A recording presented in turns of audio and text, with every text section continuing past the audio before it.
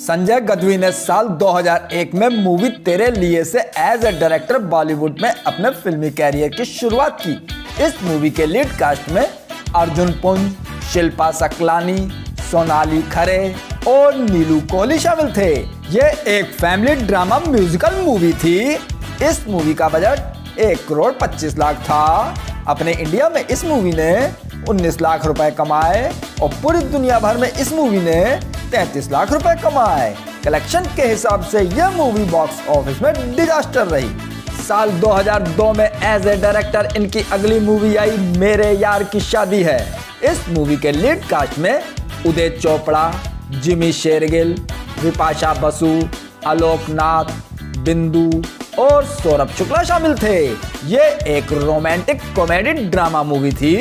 इस मूवी का बजट पाँच करोड़ पचहत्तर लाख था।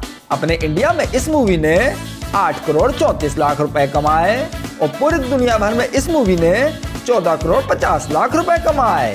कलेक्शन के हिसाब से यह मूवी बॉक्स ऑफ़िस में सेमी हिट रही। साल 2004 में एज ए डायरेक्टर इनकी अगली मूवी आई धूम।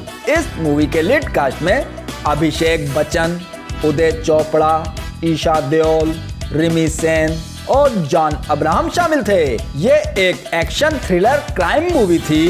इस मूवी का बजट 11 करोड़ था। अपने इंडिया में इस मूवी ने 31 करोड़ 60 लाख रुपए कमाए और पूरी दुनिया भर में इस मूवी ने सैतालीस करोड़ 70 लाख रुपए कमाए।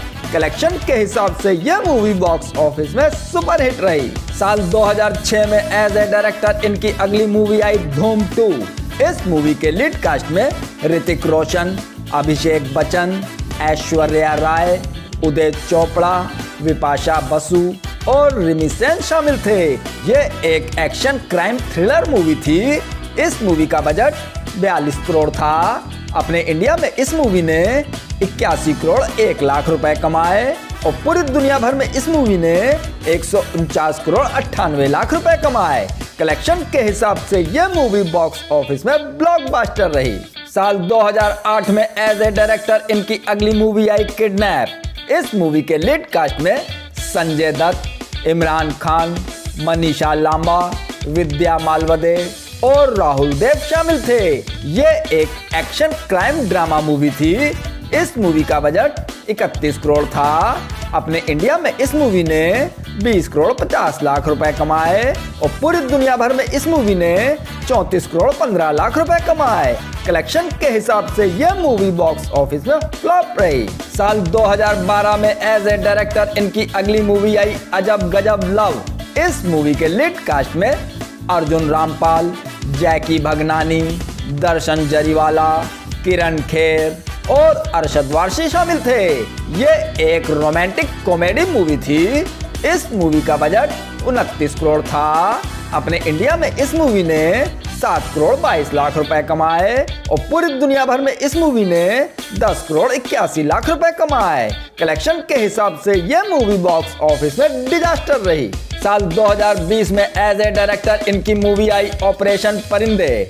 इस मूवी के लीड कास्ट में अमित साध आकाश धैया, राहुल देव, रुचा इनामदार और तुषार आचार्य शामिल थे। ये एक एक्शन थ्रिलर ड्रामा मूवी थी।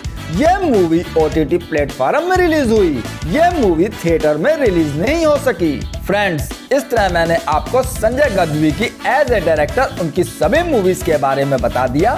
संजय गदवी की कौन सी मूवी आपकी फेवरेट मूवी है कमेंट करके ज़रूर बताएँ। वीडियो को लाइक शेयर और चैनल को सब्सक्राइब ज़रूर कीजिए। धन्यवाद।